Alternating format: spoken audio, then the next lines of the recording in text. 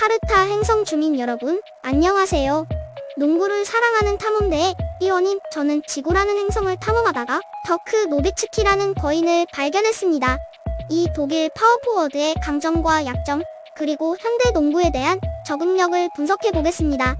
더크 노비츠키의 어린 시절과 독일에서 농구를 했던 배경은 그가 지금의 선수가 되는데 중요한 역할을 했습니다.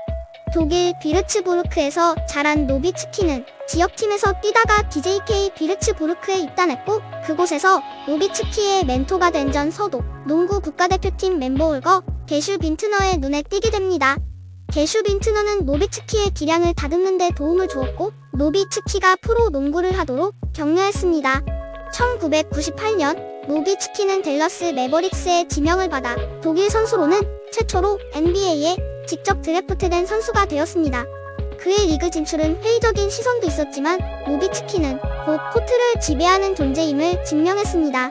선수로서 노비츠키의 강점은 바로 드러났습니다.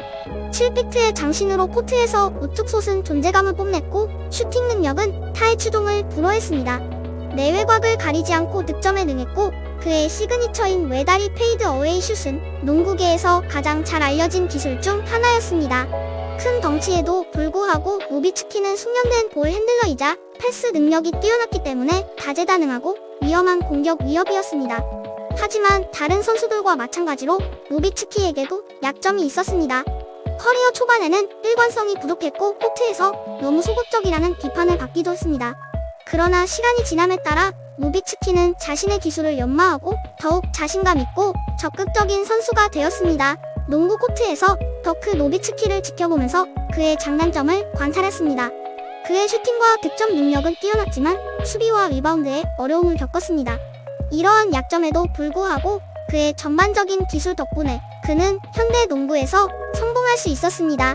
노비츠키의 경기를 좀 더 자세히 살펴보니 그의 슈팅 기술이 타의 추종을 불허한다는 것을 알 수 있었습니다. 그는 빠른 릴리스를 가지고 있었고 코트 어디에서나 득점할 수 있었습니다. 하지만 수비력이 부족했고 같은 포지션의 다른 선수들만큼 리바운드에 능숙하지 못했습니다. 약점에도 불구하고 노비츠키는 전반적인 기량으로 NBA에서 귀중한 선수로 성장했습니다. 그는 자신의 플레이 스타일을 현대 농구에 맞게 조정할 수 있었고 슈팅과 득점 능력으로 팀의 핵심 선수로 성장했습니다. 경기에 대한 그의 공헌은 동료들로부터 수많은 찬사와 인정을 받았습니다. 인류 스포츠인 농구의 역사를 관찰하면서 현대 농구의 변화에 적응한 대표적인 사례로 한 선수가 눈에 들어왔습니다. 독일의 파워포워드 더크 노비츠키는 20년이 넘는 선수 생활을 하면서 농구 전략의 진화를실시하고 이에 적응했습니다. 그의 가장 주목할 만한 적응은 포스트업 선수로 커리어를 시작했음에도 불구하고 3점 슛에 대한 강조가 높아짐에 따라 자신의 게임에 통합한 것입니다. 이를 통해 그는 코트에서 다재다능하고 위험한 위협적인 존재가 되었습니다. 그러나 노비츠키가 농구 전체에 끼친 지속적인 영향은 단순히 적응력 때문만은 아닙니다. 그는 파워포워드 포지션에 혁명을 일으켰으며 빅맨이 외곽 슈터로도 활약할 수 있다는 잠재력을 보여줬고 후배 농구 선수들에게도 같은 영감을 불어넣었습니다. 농구 전략의 변화에 적응하는 노비츠키의 능력은 소속팀 댈러스 매버릭스의 첫 NBA 우승을 이끈 2010-2011 시즌에 가장 잘 드러났습니다. 플레이오프 내내 경기당 평균 1.9개의 3점슛을 성공시키고 아크 너머에서 46.6%의 3점슛 성공률을 기록하는 등 뛰어난 3점슛 능력을 과시했습니다. 이는 정규 시즌 경기당 평균 0.8개의 3점슛과 38.1%의 3점슛 성공률에 비해 크게 향상된 수치입니다. 그의 다재다능함과 현대 농구의 3점슛 트렌드에 적응하는 능력은 팀의 성공에 결정적인 역할을 했습니다. 노비츠키가 현대 농구에 끼친 영향은 3점슛 트렌드에 적응한 것 이상으로 확장됩니다. 노비츠키는 파워포워드가 단순한 포스트업 선수 이상의 역할을 할 수 있다는 것을 보여주며 농구 경기 방식에 영향을 미쳤습니다. 그는 7피트의 큰 키에도 불구하고 자신의 시그니처 페이드 어웨이 점프슛으로 유명했습니다. 이 슛은 이후 케빈 듀란트, 앤서니, 데이비스와 같은 오늘날의 스타들을 포함한 많은 선수들이 모방했습니다. NBA 올스타 14회 선정, NBA MVP 1회 선정 등 수많은 기록과 업적에서도 노비츠키가 경기에 끼친 영향력을 알 수 있습니다.